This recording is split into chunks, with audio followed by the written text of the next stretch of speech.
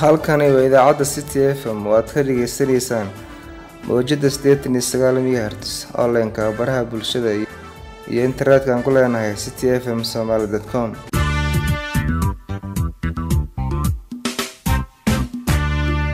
Waa maalinimo sabti taariikhda ay ku beegan tahay sagaaliyo tobanka nofembar sanadka labaatan labaatan.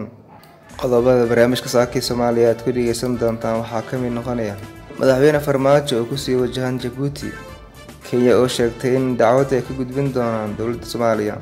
Madaxweynihii hore ee soomaaliya oo dowladda ku baaqay in ay la fadhiisto musharaxiinta. Kuwaasnan waxay ahayeen qodobadii warka. Inta ka horeysa warka caalamka abuukar cali maxamed abuukar cadaabe aad aad umahadsantahay daacad. Wasiirka arrimaha dibadda soomaaliya maxamed cabdirasaaq ayaa booqday dadkii ku dhaawacmay qaraxii ismiidaaminta ahaa ee ka dhacay magaalada gaalkacyo. Qaraxa ayaa waxaa ku dhintay afar iyo toban ruux oo ay ku jiraan saraakiil ciidan iyo dad kale oo shacab ah. Waxaana wasiirku uu ka tacsiiyeyey dadkii ku dhintay qaraxa halka uu caafimaad deg deg ah uu u rajeeyey dadkii ku dhaawacmay qaraxaasi.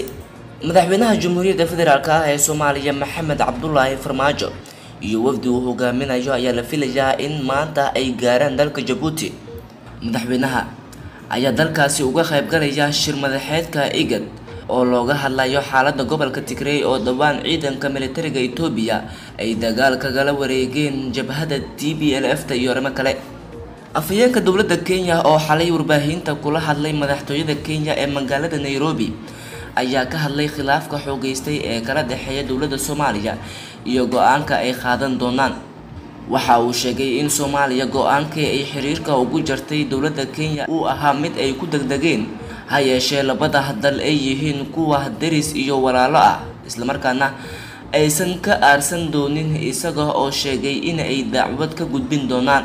Ugu dambeynna saaxiibayaal dowladda mareykanka ayaa waxa ay markab nooca dagaalka ah ay u soo direen soomaaliya kaasi oo lagu magacaabo u s s hershel wodi waxaana la sheegay in afar iyo labaatankii saacadood ee la soo dhaafay ay soo gaartay biyaha soomaaliya.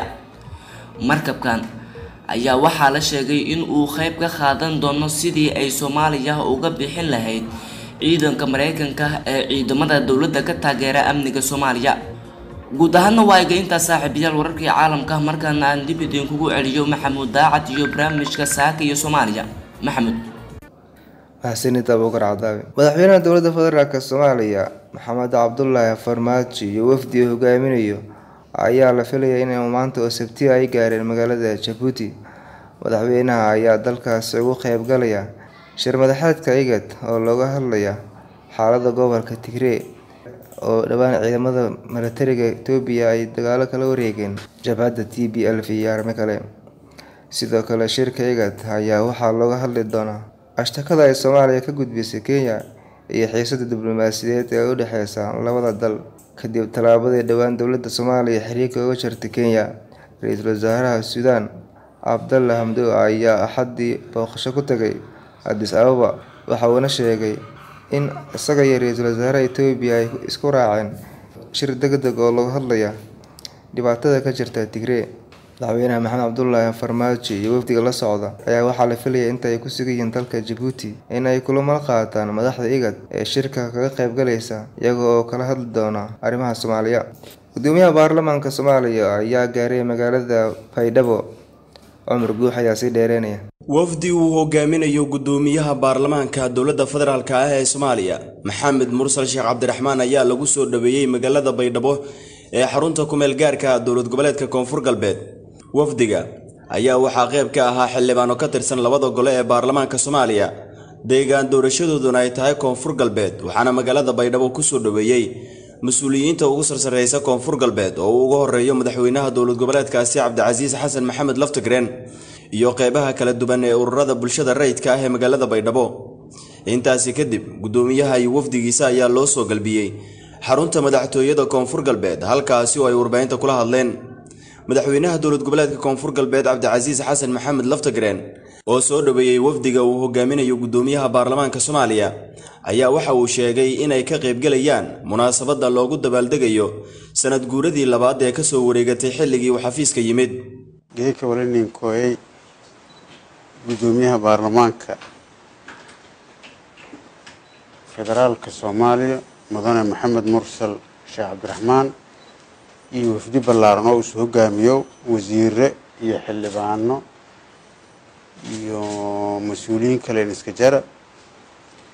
Farxada ningata sharafa ningata kooyowka guddoomiyaha sugaani runtii walowsun kooyay sanad guuradii lamaad ee ku wareegtay xilligii doorashadii madaxweynaha inuusan ninkala qeyb gala waana hata e tii koowaadnan oo kala qeyb gali tii bilowkii caleemasaarkana ninkooy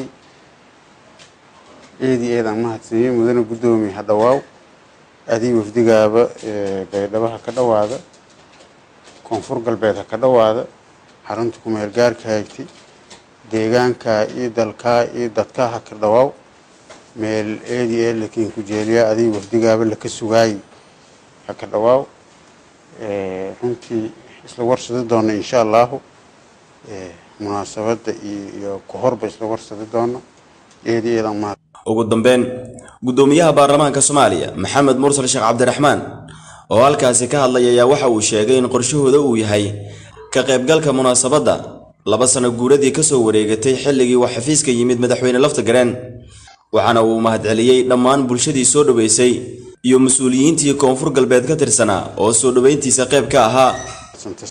Runtii iyada aan ka faraxsagna wali mahadnagaane marka hore. Madaxweynaha koonfur galbeed sida qiimaha leh usaaniin dhawaay iyo shacabka reer koonfur galbeed iyoona soo dhaweyntii oon ku mahadnagaana tan kale mar hore wali caadaning haada jirtay munaasabado muhiimka ah. Koonfur galbeed marka ku jira inuuna ku qiib galna munaasabadugna wali ku midhataa munaasabado muhiimka ah sanad guuridii lamaad oo madaxweynaha koonfur galbeed mudane cabdicasiis laftagareen la doorday runtii sharafaningata karaaminingata wali matala doogna ee baarlamankii federaalka hay. Wali ila wasiire xukuumadda ku dareera wali ila dareere xildhibaana oo kula jooba in kooyan munaasabada tan in ha ku qeyb galaan. Cumar guux raadiyaha iyo tv-ga city jowhar kenya ayaa sheegtay in dacwad ka gudbin doonto soomaaliya. Afhayeenka dowladda kenya carlos uganda oo xalay warbaahinta kula hadlay madaxtooyada kenya ee magaalada nairobi ayaa ka hadlay khilaafka xoogeystay ee kala dhexeeya dowladda soomaaliya iyo go'aanka ay ka qaadan doonaan. Waxa uuna sheegay in soomaaliya go'aankii xiriirka uga jartay uu ahaa mid ay ku degdegeen ha yeeshee labada dal ay yihiin kuwa daris iyo walaalo ah islamarkaasna ay ka arsan doonin isagoona sheegay in dacwad ay ka gudbin doonaan. Dowladda soomaaliya waa ay degdegeen ma ahayn anagoo walaalo ah inay xiriirka noo jiraan waxaan nahay daris iyo saaxiibo aan kala maarmin kamana aarsan doona balse waxaan cabashadeena u gudbin doonaa igad commis iyo africa united. Si noola heshiisiiyo ayuu yidhi afhayeenka dowladda kenya. Sidoo kale afhayeenka dowladda kenya ayaa waxa uu hadalkiisa ku sii daray in soomaaliya loogu baahan yahay heerkaasi inaysan gaarsiinin khilaafka kala dhexeeya waxa uuna ku baaqay inay wada hadlaan si loo soo afjaray khilaafaadka kala dhexeeya khilaafka u dhexeeya dowladda soomaaliya iyo kenya ayaa xoogeystay waxaana taasi keentay in dowladda soomaaliya ay dalka ka saarto safiirkii kenya. Sidoo kalena ay u yeerto safiirkii ka joogay dalkaasi iyadoona labaatankan bishan jabuuti lagu qaban doono shir uu soo qaban qaabiyey ururka goboleedka igad kaas oo loogu hadlaya khilaafka soomaaliya iyo kenya. Ra'iisul wasaare roble ayaa lacag ugu deeqay waddo laami ah oo dhex marta degmada cadaado ra'iisul wasaaraha xukuumadda federaalk soomaaliya maxamed xuseen roble ayaa kormeer ku sameeyey waddada laamiga ee dhex marta degmada cadaado ee gobolka galgaduud taas oo si isxilqaan ay u wadaan dhismaheedu shacabka ku dhaqan gudaha degmada.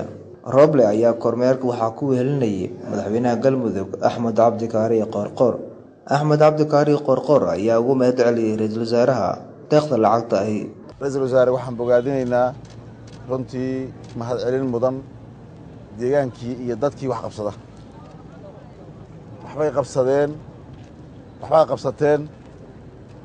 Markaasaana wax laydinku tari karaa.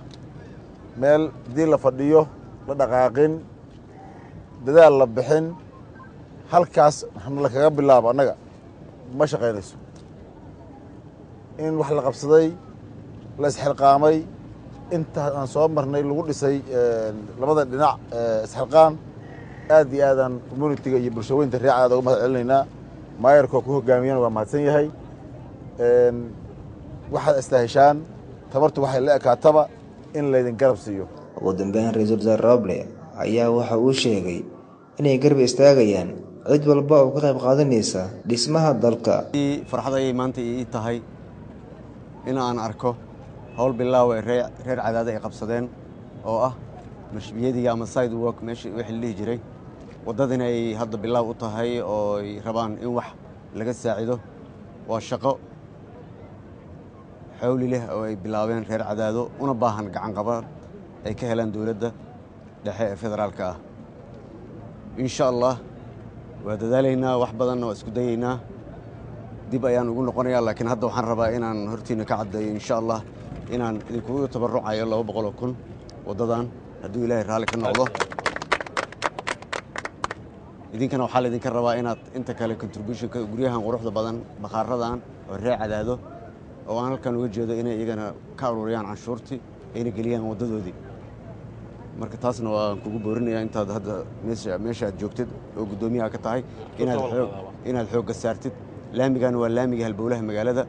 Marka saa darteed waa ku mahadsantihiin annagana waa idin garab taagannahay gudoomiyaha dhuusamareeb ayaa amaro dul dhigay dadka ka maqan guryahooda mahir tawakal ayaa sii amaqaadaya maamulka magaalada dhuusamareeb ee galmudug ayaa fariimo u diray dadka shacabka ee guryadaha kuleh magaalada kana maqan. Gudoomiye cabdiraxmaan geedi qorow oo ka hadlay bilicda caasimada galmudug ee dhuusamareeb ayaa sheegay in bulshada ka maqan dhuusamareeb ay dib ugu soo laabtaan guryahooda islamarkaana ay dayactirtaan wuxuu qabtay inay ku soo galaan magaalada muddo lix bilood. Qofka la waayana gurigiisa dad kale lagu wareejin doono waa sida uu hadalka u dhigay. Waxaan rabnaa magaalo qurxoon oo sida caalamka caasimadahoodu u shaqeeyaan u shaqeynaysa inaan dhisno. Wadooyin leh meelo dan guudahoo sida iskuulaadka iyo jaamacado iyo maaragtay saldhigyo boolis iyo ummaddu sida dhulka meelaha danta guuda leh. Qurxoon. Waxaan rabnaa dadka magaalada ka maqan oo guryahoodii ku yaalaan magaaladii inay yimaadaan. Cid ka haysata waxoodii ma lahan guryahoodiina inay dhistaan muddo lix bilood aan u qabanaynaa. Magaalada inaan qurxinaan rabnaa. Lixdaas bilood qofkii gurigeeda aan ku dayac tiran oo aan ama gadan ama intay timaado gurigeedii aan dhisan gurigaas waa ka ka bedelaynaa qof kalaan siinaynaa. Maahir cabdi isxaaq raadiyaha iyo tv-ga city magaalada jowhar. Madaxweynihii hore ee soomaaliya sheekh shariif sheekh axmed ayaa dowladda federaalk soomaaliya ugu baaqay inay la fadhiisato musharaxiinta cumar yuusuf ayaa sii dheereynaya. Madaxweynihii hore ee soomaaliya shariif sheekh axmed oo shir jaraa'id ku qabtay magaalada caasimadda ah ee muqdisho ayaa ku baaqay in dowladda looga baahan yahay inay la fadhiisato musharaxiinta tabashada ka qaba arrimaha doorashooyinka dalka iyo qeybaha kala duwan ee bulshada. Shariif ayaa dowladda waxa uu u sheegay in looga baahan yahay ku dhaqanka sharciga ilaalisana xeerarka dalka u degsan waxaana sidoo kale uu soo hadal qaaday bannaanbaxyada labadii maalmood ka dhacayay magaalada caasimadda ah ee muqdisho kaasi oo looga soo horjeeday dowladda. Dowladda waxa looga fadhiyo arrinta doorashooyinka tabashada laga qabo inay xaliso dadka la fadhiisato waxaa doorashada gelaya waa dadka murashaxiinta ah. Doorashadu inay xur ahaato oy xalaal ahaatana waxay khusaysaa dadka soomaaliyeed dhammaantood mid hadda jooga iyo midaan jooginba marka doorashadu inay xur ahaato xalaal ahaato arrin laga tanaasuli kara ma aha waa arrin qaran. Maanta haddii la ogolaadana berihii soo noqonaysa. Waxayna keenay qarannimadu inay ku dhammaato meelaan fiicnayn sida wanaagsan waxay ahaaday xilli hore hawshaan in la dhammeeyo laakiin haddana weli wakhtiyaa la haystaa. Waxaan ugu yeeraynaa dowladda tabashada laga qabo doorashooyinka. Guddiyada waxaa lagu eedeeyey kow inay intooda badan ka kala yimaadeen hay'adaha dowladda iyo taageerayaal. Doorashona looma ogola arrintaas sharcigeenna noo yaallaa diidan arrintaas. Dowladnimaduna waxay leedahay usus ay ku taagantay. Ususka koowaad waa sharci. Marka waxaan rabnaa sharciga in la raaco mucaaradku waxa uu weydiinaya dowladda waxa uu ka rabo doorasho xurahoo xalaala wadiiqadeeda in la maro. Wax kaloo meesha yaalla ma jiraan dadku hadday waayaan xuquuqda ay lahaayeen inay soo bannaan baxaanna sharcigaa tilmaamaya waa karaan. Mar uu sii hadlayey ayaa dhanka kale waxa uu soo hadal qaaday. Ciidamada ammaanka ee ka howlgala gobolka banaadir iyo guud ahaanba dalka isaga oo sheegay inaysan qayb ka noqon xaaladda dalka uu ku jiro oo ay ka mid tahay arrimaha doorashooyinka iyo arrimo kale. Waxaana uu ku baaqay in dalkan dib loogu celin halkii uu ka yimid waa sida uu hadalka u dhigee waxaan rabnaa inay ahaadaan ciidamo soomaaliyeed ay noo wada sinaadaan. Sidaasay ciidan qaran ku naqon karaan. Hadday naqon waayaan ma noqonaan ciidan qaran. Maxaa yeele sharcigay ka leexdeen. Xaaladda dalka. Annaga waxaan leenahay meel aan wanaagsanayn ay joogaan iyoon looga sii darin xilligan waa xilliga loo baahan yahay in caqliga iyo xikmaddu ay shaqayso. Wax aa wada hadalku heli karto maxaa keenaya inaa ciidan u soo bixiso cumar guux raadiyaha iyo tv-ga city jowhar. Mashruuc caafimaad ayaa laga daafuray deegaano hoostaga gobolka bakool mashruuc loogu warhaanayo caafimaadka hooyada iyo dhallaanka ayaa laga daafuray deegaano iyo degmooyin hoostaga gobolka bakool ee maamulka koonfur galbeed soomaaliya mashruuca ayaa ah mid waxweyn loogu qabanayo baahida caafimaad ee ka jira deegaanada bakool oo ay ka mid tahay xudur iyo meel kale. Isku dugaha wasaaradda caafimaadka koonfur galbeed soomaaliya iyo gudoomiye ku-xigeenka maamulka gobolka bakool ayaa sheegay in mashruucan wax badan uu ka bedeli doono baayaha caafimaad ee ka jira gobolka iyo degmooyinka hoostaga hooyada iyo dhalaanka oo haysata oo guriga maamada ka dhalaasa dhibaatooyinka maaragtay meelo ku teegin ini aan rafeer galayt walal walaagi iyo kabasity oo la tababaro doono maaragtay la tababaro doono nagadayn markii la tababaro kubacda howlgalayn wal alla walaagi markan iyo maaragtay critical case oo ma serial case ee masayoha ka adkaada. In harwaamaha caafimaadkan gudbiyan kuna ka gobol ahaan degmada waajid iyo degmada hudurya iyo ku daafurni.